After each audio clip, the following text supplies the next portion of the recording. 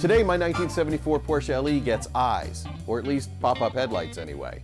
I'll show you how to test the headlight motor, restore the buckets, put them in the car, and install LED bulbs. Let's get started. Okay, so here's everything we're going to need to restore the headlights on the Bumblebee. We have the motor here, of course, and this is the push rod and the clip that holds the push rod in. And this uh, circular thing over here holds the motor to the car itself with some screws. This is one of the pivots, the inside pivot actually, and the outside pivot is over here. We're also going to change the bushings that go on the pivots themselves. This is the actual headlight bucket. Here's the rubber cover that protects the part of the motor that sticks through the tray there. And we have the bronze pivot which goes onto the headlight bucket and into the actuating push rod. Over here we have the plates that hold the headlight bucket to the car and the new stainless steel headlight adjuster screws. These headlight motors can be almost 50 years old, so how do you know they work? So you see here we have three wires going into the junction here, red, gray, and green. And what we're going to do is we're going to apply power to the red one and then either the gray or the green. The gray one makes the headlights go down and the green one causes the motor to turn the headlights up. So to test it, we have to put power on the red and then either the green or the gray. And then also, of course, some ground to the brown wire here. Next thing I want to do is make sure I have a known good relay because the motor needs a relay to actually work and I don't want to be chasing whether or not it's the relay that's bad or the motor that's bad. So we'll take the negative lead from my power supply and put that on the brown wire. And for the positive side, I've twisted the two wires together, going to the red and either the gray or the green, and hooked that up to the power supply. Okay, so now let's give it some juice. Nothing has happened, okay? But that doesn't mean that the motor is bad. It could just mean that the motor is already in the down position and I'm powering the gray wire, which is for down, so the motor doesn't think it's got to do anything. So what I'll do is just switch it up a little bit and move the wire over to the green side. And let's see if this works. Yep, now that worked. So the motor was in the down position before, it definitely works. And this motor is good. Now I'll just disassemble the motor and clean nearly 50 years of crud off it so it looks good. Before I start putting things on the car, this is one of the brackets here and I want to replace the bushing on the bench. So I'll take the old one off just using a plier. I'm not looking to save this. And then we'll take the new one from 914 rubber and just push it right onto the pivot. Couple quick things about the headlight buckets themselves. There are right and left versions of them. They're not the same. And the way you can tell is that there's a pivot piece here which is only on one side. You see it's not on the other side. And that's where this brass pivot piece goes. That's where the lever, the actuating lever attaches. So this is to the inside of the car and this is to the outside of the car, making this bucket a right side bucket the headlights hit the elements head on, so kind of makes sense that they'd be rust magnets. To restore mine, I soaked them in Evaporust, then painted them gray, not exactly like the factory, but pretty close. I want to make sure that the wire harness on this side is routed up through the hole here before I put the motor in because it'll just be a whole lot easier to do it now than later. There's also a stud here where all the ground wires attach and I've cleaned that up to make sure that it's good and shiny. Now it's way easier to put the relay socket into the body first. So I'm resting the motor on something soft and then just working it in. I want to make sure that this insulator is on and then really carefully move the motor into position, avoiding the paint at all costs. And we'll put it through the metal here and then grab that little ring and put that on and align the holes so that we can just take the little bolts and screw them right in. And we'll just tighten things down here. Now we'll start to work the headlight wires through the grommet one at a time and pull them through. And we'll freshen up the contacts with some emery cloth here. We'll grab a brand new headlight connector since most of them don't survive being pulled out of cars. The yellow one goes on the top and the white wire on one side and the brown wire on the other. Now we'll just make sure that they're properly seated. Now we'll get the headlight bucket ready to put in the car. This is the top side here. And you want to make sure that you have your pivots in on both sides before you put this in the car because the tolerances are really, really tight. Also make sure that you have the clip nuts or speed nuts in position because it'll be a lot easier to do them here now. Most importantly, make sure that the bronze pivot is in the right place. So I'll put that in. And there's a funky washer that goes on the other side, unlike any other washer on the car. Then just take a 10 millimeter wrench and tighten things down. This bolt here is the headlight bucket stop for when it's in the full up position, and I'll show you how to adjust that once everything is in the car. Remember on the bench we put the uh, bushings on the pivots here and the triangle shaped one is the one that goes on the inside of the car. So we just slip that into the bucket. And then on the other side, that's the straight up and down one, which goes on the outside of the headlight bucket. We'll slip that in.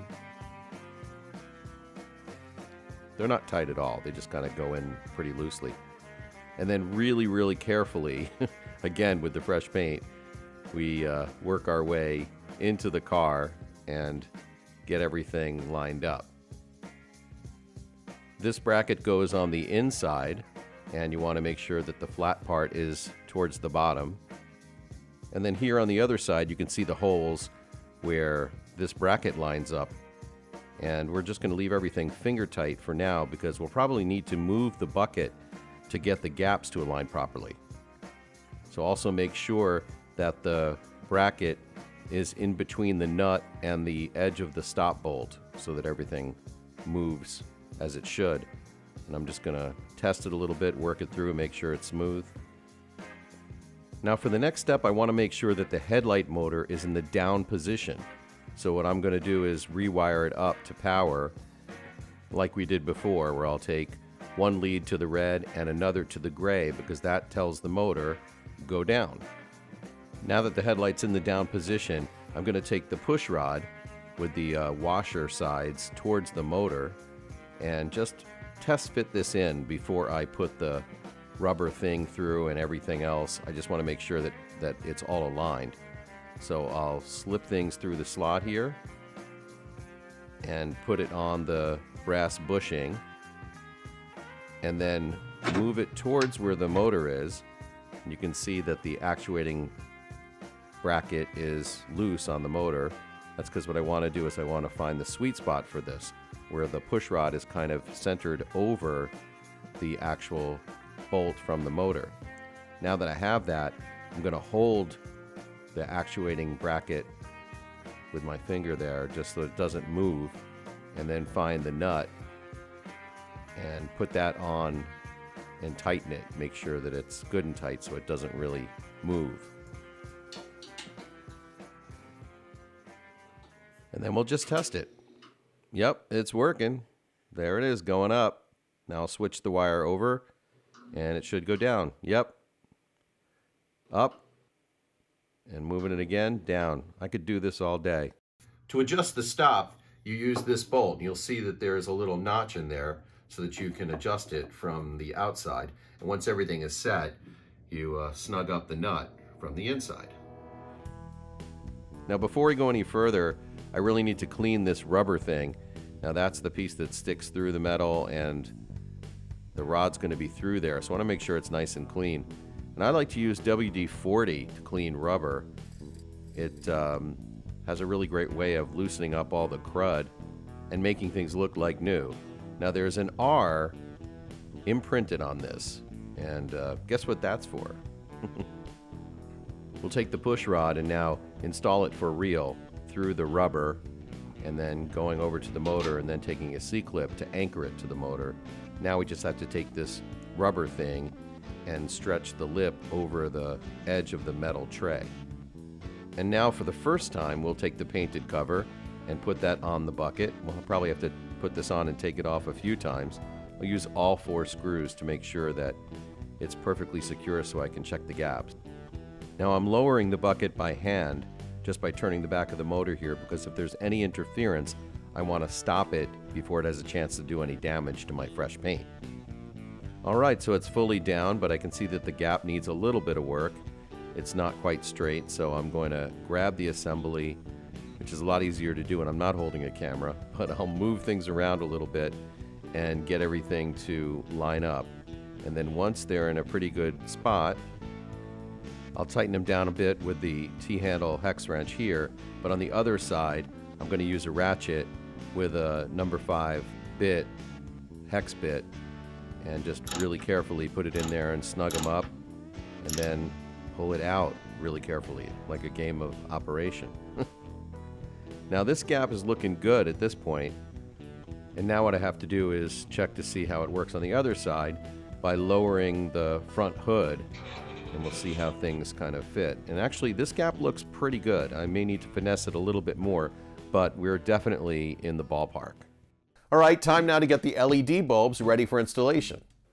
Okay, so here's the globe part of the package, and it's got some writing on the bottom, and it actually says top at the top, so you know which way it goes. I already put the bulb in, and that's the boot that's going to go in over it on the car. So we'll need to put this into the little bucket that accepts the headlight itself. And then the trim ring. Now the top of the trim ring is where it says Hella. So we'll arrange that to the top of the bucket. And the way we know that is that the adjusting screws need to be at the 12 and 9 o'clock position. So once we have that at the top, we know we're in the right place. And then we orient the bulb so that those little protrusions fit directly into the bucket. And we just tie the trim ring down to seal it all together. These are the new stainless steel adjusters and they have like a little channel that allows it to sit in the little slot on the bucket itself. I'll take these adjuster blocks and slip them into the headlight bucket and they just push right in. And the same thing on the uh, other side at the 9 o'clock position. Now we'll take the actual assembly and the stainless steel screws and start threading them into the blocks. Now one thing that's different about these stainless steel adjuster screws is that they're not Phillips head. You use a hex wrench to tighten these in, but they work really, really well. And this spring here is a little bit of a pain, but a needle nose pliers allows you to hook it right up between the back of the bulb bucket and the back of the headlight bucket. Then we'll just plug the bulb in and put the boot over it to protect it from the elements. Yet another time now with the painted cover so that we can get the brows set up. The brows themselves are held in place with these little rubber stoppers, two on one side and one on the other, and also this piece of metal in the front. Um, sometimes it's bent forward, you got to straighten it up but that's also where the brow sits. The front edge has to sit over that metal. As the brow goes into position here, you can see that it's held by the rubber on the sides and by the metal in the front. Now once again, we'll lower the mechanism using the knob at the back of the motor slowly so we can check the gap between the headlight bucket and the brow. You want to go really slow and make sure that we don't hurt the paint by the way, you can only turn the motor counterclockwise, one direction. Otherwise, the knob spins off. And actually, it's looking pretty good. So I think, uh, I think we're good there. Okay, let's grab a new surround here, and these two are right and left sided. The inside always has a bit of a thicker edge to it, and that's how you can tell. The right side's a little thinner, but in either side, the adjustment screws are always at the 12 and 9 positions much easier now to remove the brow in order to get this into place. You don't want to fight it or possibly hurt it. We'll gently get everything into position. And these are held in place with two screws on either side and one at the top. Now for this top screw, you want to make sure you're using the right type, an oval or a flathead screw so that it doesn't mar the brow. And now the moment of truth. It works, and everything looks good. I'll probably need to move things around a little bit and tweak the gap some more, but for now, I'm really happy with this. Okay, so the lights are in and working, and my Bumblebee is looking more and more like a car every day. If you want to see how to aim the headlights, I got an episode for that. I'll just put a link over here so you can just click on it. If you haven't subscribed to my channel, please do. I also love it when you leave comments or questions. I try to get back to them right away. Thanks again to 914 Rubber for providing so many great parts for this build. And please consider joining my Patreon account and get a fun hat. Patreon.com slash Ian Karr.